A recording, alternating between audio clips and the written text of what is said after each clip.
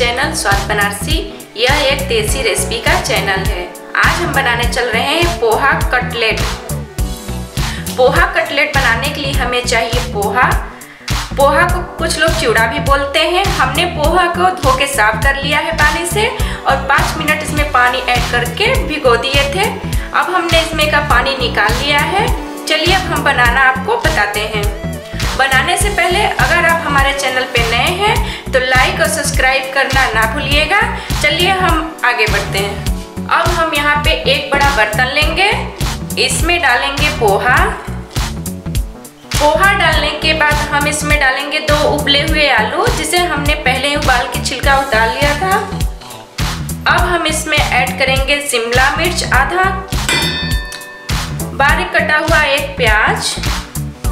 बारीक कटी हुई एक मिर्ची हरी, दो चम्मच मूंगफली के दाने जिसे हमने भून के कूट लिया है। अब हम इसमें ऐड करेंगे एक चम्मच शक्कर, एक चम्मच धनिया पाउडर, एक चम्मच गरम मसाला, एक चम्मच खटाई, जिसे कुछ लोग अमचूर पाउडर भी बोलते हैं। थोड़ा सा इसमें ऐड करेंगे हम लाल मिर्च, आधा चम्मच ऐड करेंगे जीरा, स्वाद अनुसार नमक।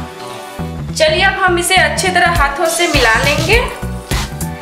इस तरह से कुछ मिक्स करते हुए हमें फोड़ते हुए मिलाना है। ध्यान रखिएगा कि पूरे को हम अच्छी तरह से हमें मिला लेना है। हमने इसे कुछ इस तरह से मिला लिया है। आपको भी ऐसे ही मिला लेना है। मिलाने के बाद हमें थोड़ा सा लेके गोल शेप देते हुए ऐसे, इस तरह से गोल शेप देते हुए कुछ हाथों से ऐसे दबाना है। टिक्की का शेप देना है। अब एक चॉपिंग बोर्ड पे हम कुछ इस तरह से कर लेंगे। ऐसे ही आपको सारे बना लेना है। इस तरह से हमने सारे बना लिए हैं। आपको भी इसी तरह से सारे बना लेना है। देखिए, हमारा पूरा बन के तैयार है। गैस पे हमने पैन चढ़ा के ऑयल ले लिया है। ऑयल को हम गर्म होने देते हैं। गैस को मीडियम फ्लेम पे ही रखेंगे। ऑयल हमारा गर्म हो गया है। अब हम चलिए इसे फ्राई करना बताते हैं। आपको कुछ इस तरह से इसमें रखना है फ्राई करने के लिए।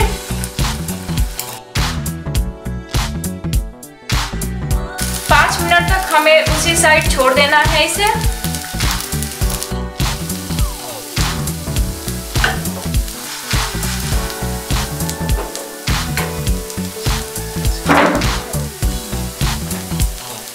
समय समय पे आप इसे ऐसे हिलाते रहेंगे तो आपका ये क्रिस्पी तलेगा।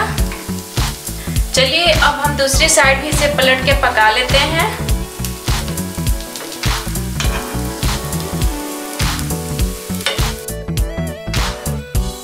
इस साइड देखिए कुछ इस तरह से हमारा आया है। ऐसे ही दूसरी साइड भी हमें पका लेना है।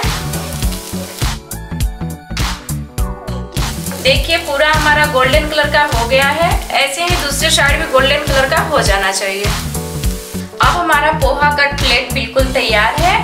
चलिए, अब हम इसे किसी बर्तन में निकाल लेते हैं। देखिए, कितने अच्छे से तला गया है। पोहा कटलेट हमारा बन के बिल्कुल तैयार है। आप इसे चटनी के साथ सर्व कर सकते हैं। एक बार इसे आप ज़रूर ट्राई कीजिएगा। अगर आपको अच्छा लगे तो कमेंट बॉक्स में हमें लिखकर ज़रूर बताइएगा। होप आपने हमारे चैनल को सब्सक्राइब कर दिया होगा। अगर नहीं किया है तो हमारे चैनल को सब्सक्राइब कर दीजिए, क्योंकि हमारे चैनल पे इसी तरीके की रेसिपी आपको देखने को मिलती रहेंगी। चलिए मिलते हैं हम आपसे नेक्स्ट वीडियो में। Thank you for watching Thank.